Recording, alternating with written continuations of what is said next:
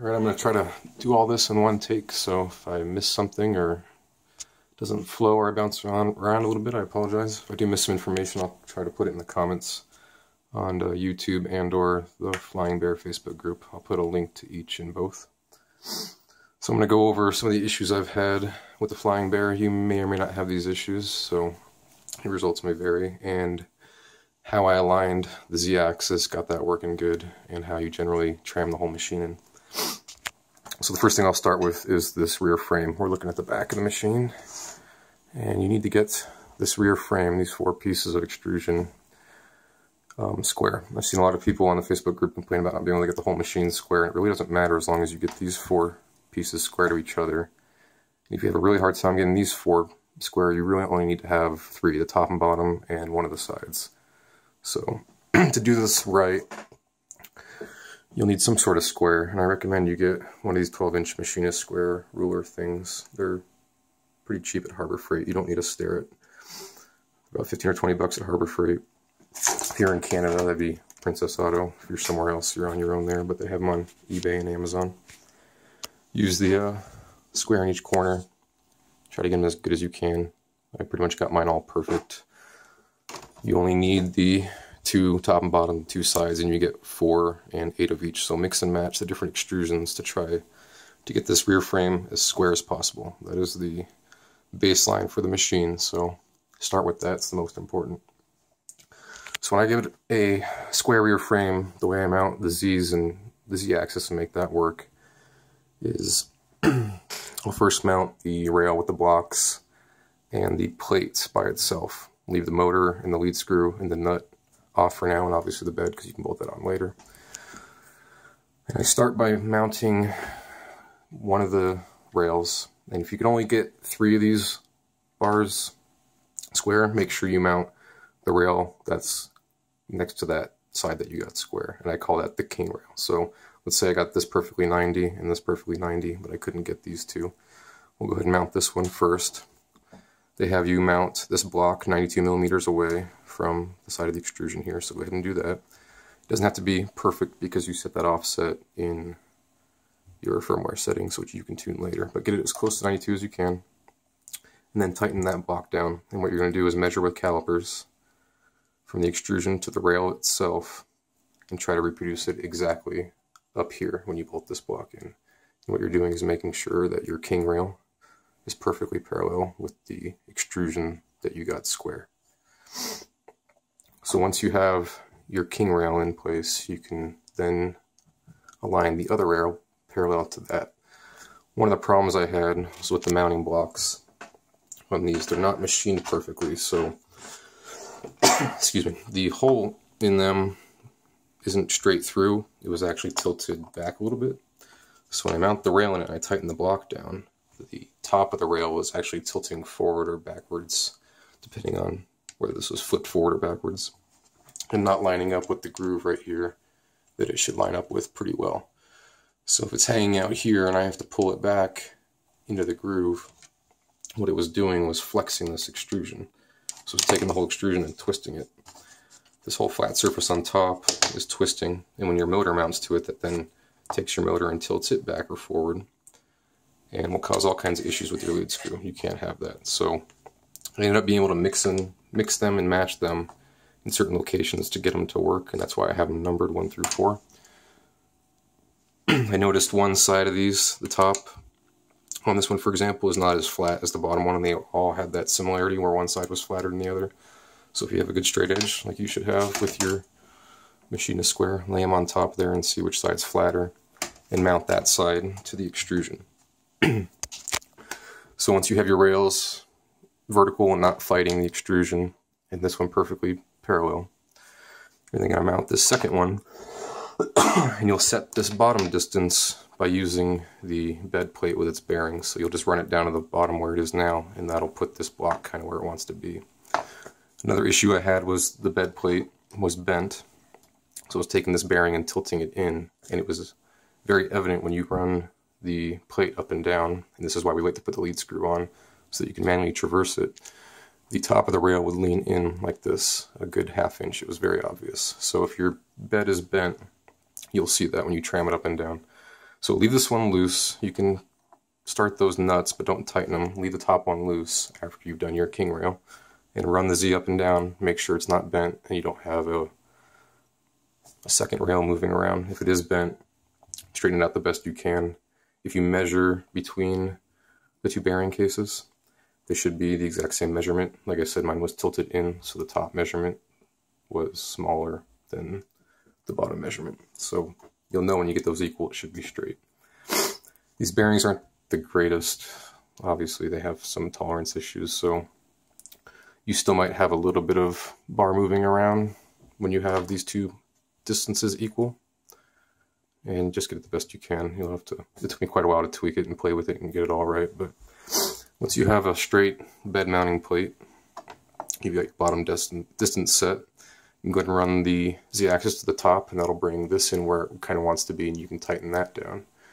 And then I double checked by measuring from here to here and making sure it was the same at the top. And that ensures that both rails are parallel to each other and then both rails are parallel to your extrusion. And if the whole frame is square, then they'll both automatically be parallel to this extrusion, and you can check that as well if you'd like. as far as the lead screw goes, you need to make sure it's not bent. If it has any sort of bend in it, it'll cause you issues that you really won't be able to work out depending on the severity of the bend. If you have V-blocks like I do, you can put them on V-blocks and check it with an indicator. If not, use a, if you have a nice glass table or coffee table that's reasonably flat, you can roll it across that and see if it has a bend. These aren't very successful if you try to straighten it out yourself or straighten them at all because it's a threaded rod. You should probably just get a new one if you have a bent lead screw.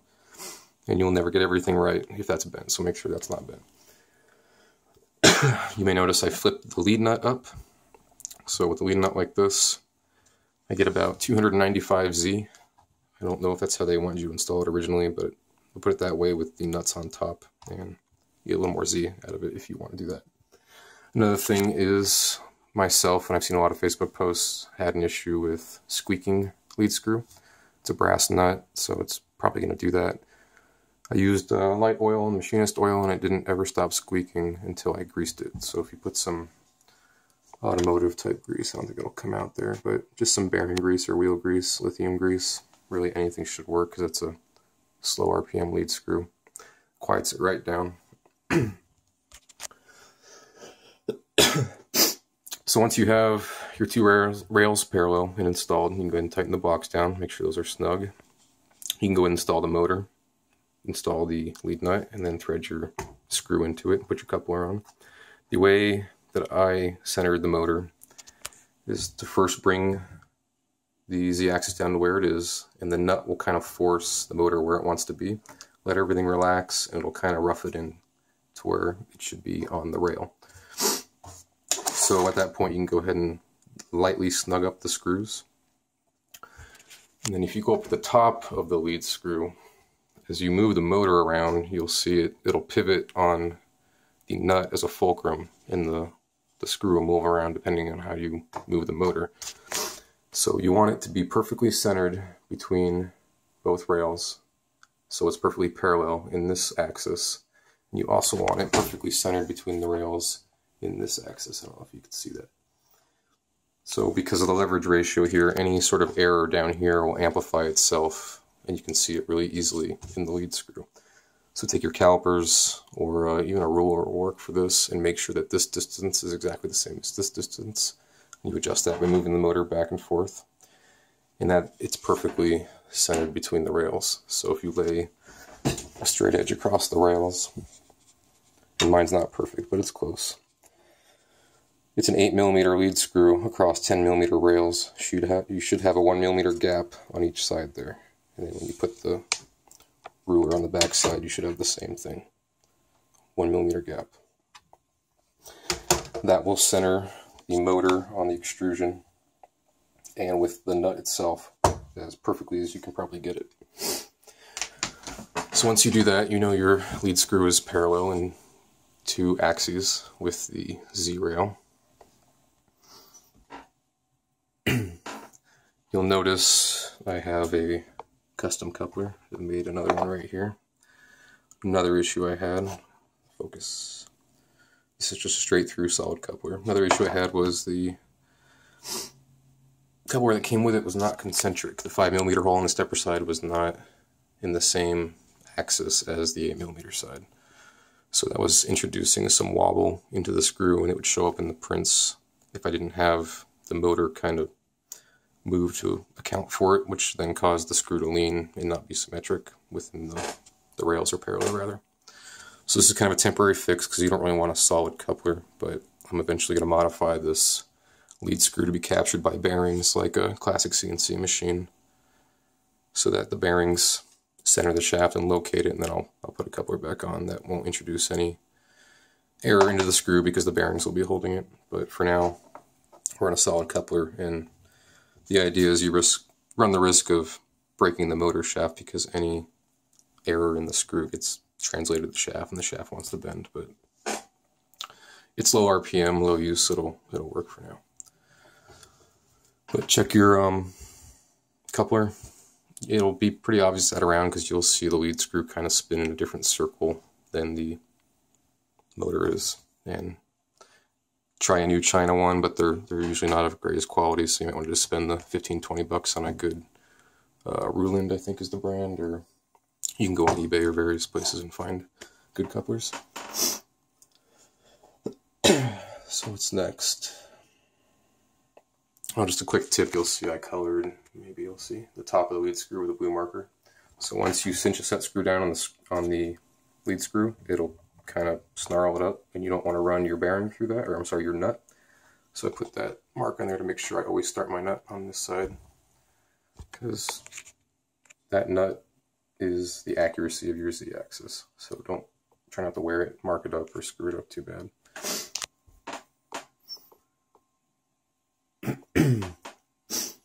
So I think that about takes care of the z-axis. If you have any issues after you've done all that with the z-axis bearings sticking, because I did, they would get hung up right about here and would actually hold the bed up, then you probably need new bearings. I went ahead and bought, I found some used Nippon Denso bearings on eBay. These are $50 a piece new, or 55 so it's over $100 for a pair. And when we're talking about a $300 machine, it's kind of hard to justify, but I found them used for a pair, $25 for pair on eBay, and I'll throw these in when I feel up to it. But these glide beautifully on their shaft. They're not notchy and weird like these Chinese ones are. I also noticed after the ones I originally had sticking did loosen up, they lost a lot of tolerance. So this one can actually shake back and forth on its rail a few thousandths. Doesn't seem to show up in the print. The bed doesn't seem to want to move at all, so it's not too much of an issue. But I found a deal, so I'm replacing them anyway. What'll happen if they do stick while you're printing? And a real quick note, if you're just running it through really quickly, you'll never notice it because the bed steps down so slowly something that you would run through by hand and not even feel will actually catch the bed while it's printing. And what happens is because this, see if I can get the focus, this lead nut has what's called backlash. I don't know if you can see this, but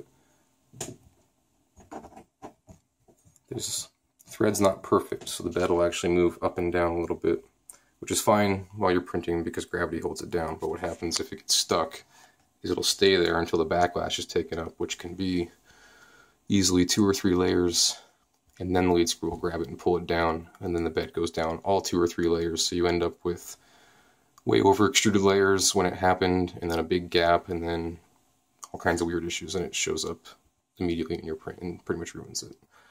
So make sure your your bearings do not stick even the slightest these like a good lightweight oil too i just pour a couple drops on the top every few prints or every i don't know eight hours of use probably that seems to help quite a bit you can find a deal on good bearings or just want to upgrade, I recommend the Nippon Denso. There we go. NB Japan, there's the model number. This is the square flange. They make a round and a two bolt. Any of them will work. The uh, the length and the ID and the OD are really the dimensions that matter. So still a 20 millimeter bolt circle, which is what the factory Flying Bear LM10 LUU or whatever they are bearings are. So direct swap.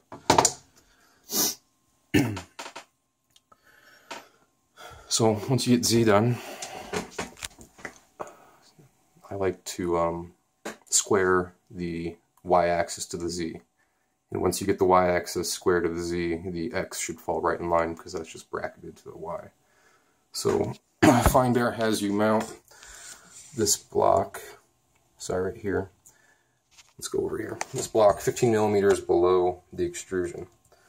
So what I noticed, and it's not evident here because I fixed it, but let's go to the other side and I'll show you. Is if you mount it at 15 millimeters, the belt will flex right here. I don't know if you can see that. That makes an angle. It's not parallel to the top anymore. You can see it gets worse the closer I get to the bearing. And it gets better the further away we get. So if you mount those at 15 millimeter, you'll have the belt coming up at an angle. And it's no longer parallel or 90 degrees tangent to its roller. And what that does is introduce errors at the extreme ends of the print. So if you're printing big objects and you want to be accurate, this needs to be parallel. Closer to the way I've done on this one, for example. You see as it comes up, it stays pretty much perfectly parallel. That one still goes up a little bit. I have some tuning to do, but you get the idea. So what I do is because, let's see, we take the drive side, side with the motor on it, and you set the height of the Y blocks here on the drive side, drive end, so on the rear side, so that this belt gives you no bend, just like that. And it ends up to be about 16 millimeters, I've noticed, from the top. So you want to do, again, this rear side, because we squared this frame. That's what we work off of, and that's where these blocks are mounted to. We don't necessarily care about this end yet.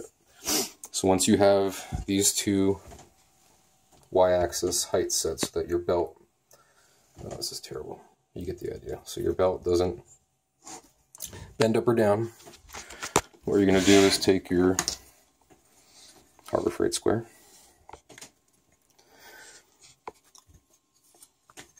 put the head on the Y rail and make sure it's perfectly square to your extrusion by adjusting that end. You don't want to move this end because we just made it right.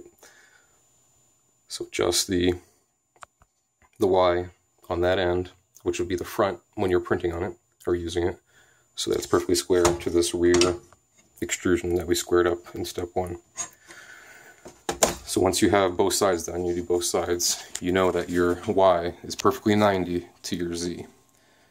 And that anything you print as it goes down isn't going to kind of step away and slant because your Y is tilted up or down.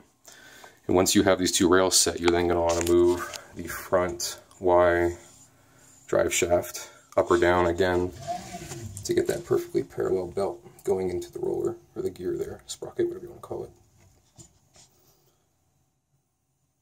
So once you've done that, you've eliminated all the belting errors in the Y. It's perfectly square to Z. And as long as you've done that, because of the way the brackets work on Y to X, X will then be perfectly square. The other thing I've noticed is the way they have you attach the X belt to its carriage. Gives you the same issue with the belt making an angle. Maybe we'll see a better one on this. yeah, you can see it right there. It gets higher and higher and higher. So something I plan on doing is making a bracket that'll go onto the bottom of the extruder carriage here and put the belt at the proper height on the carriage so that it doesn't make that angle. And that'll remove any x-axis belting errors. I think that's about it. Once you have three axes square, the only thing left is to level the bed, and the bed will take care of any errors in these angle brackets that the bed bolts to. Quick tip, if you haven't got a glass top, get a glass top. It's the best thing ever. Any questions, ask me in the comments. Enjoy, guys.